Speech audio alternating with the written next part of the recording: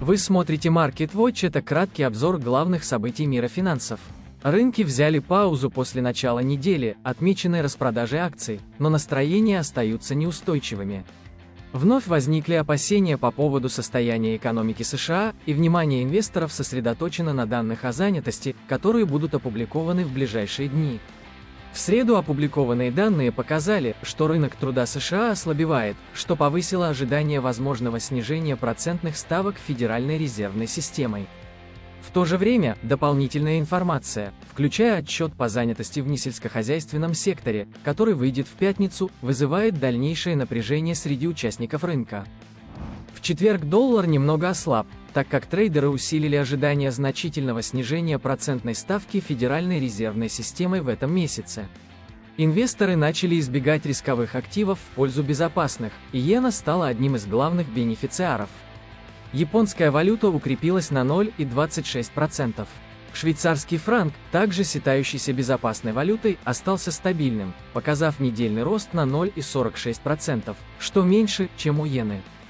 Доллар оставался под давлением на азиатских торгах, евро торговался на уровне 1 доллар США 1083 десятитысячных, фунт на уровне 1 доллар США 3147 десятитысячных. Индекс доллара снизился до 101,25, отражая его падение по отношению к корзине других валют. Цены на нефть немного подросли после того, как ранее они упали до многомесячных минимумов.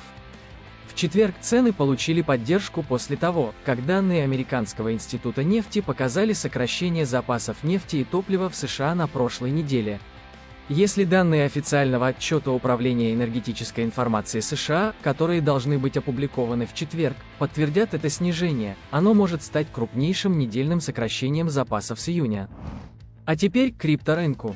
Согласно официальному объявлению от 4 сентября, Цюрихский кантональный банк, являющийся четвертым по величине банком в стране, теперь предлагает услуги по торговле и хранению биткоина и эфира.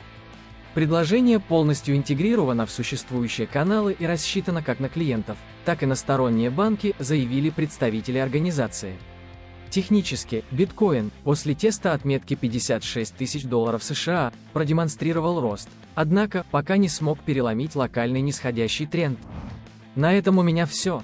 Внимательно следите за новостями и будьте готовы ко всем сюрпризам рынка.